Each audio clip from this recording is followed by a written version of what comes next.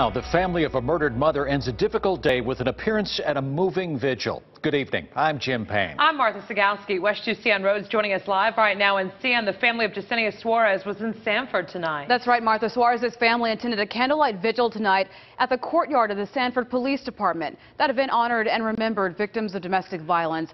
Other families who have lived through tragedies were also in attendance. Earlier this afternoon, Suarez's relatives were in Volusia County Court, desperate to learn where the bodies of the mother and her two children were. They were pronounced dead last week.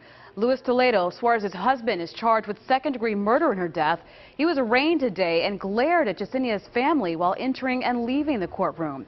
Investigators say Toledo confessed to killing Yessenia Suarez uh, with a single martial arts style blow to the neck after they had an argument about divorce last week in Deltona. Detectives say he refuses to say where her body is or what happened to her children, Thalia and Michael.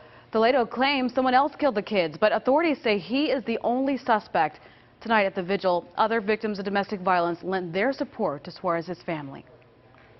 That's what we're running on, is people that are supporting us and giving us those hugs and those assurance that, you know what, that we will, we will find them, that we will keep hope alive. Events like this is that brings awareness to people out there that there is a way out, and it doesn't mean it has to take your life or your kid's life with them. There is a way out. If you're in an abusive relationship, seek help. And I told her, I'm going to hope and pray and just keep your faith that um that those bodies are found because that's what every family wants. Like tell us where they are so we can bury them and give them a respectful funeral what they deserve. They were human beings, okay? They weren't rag dolls.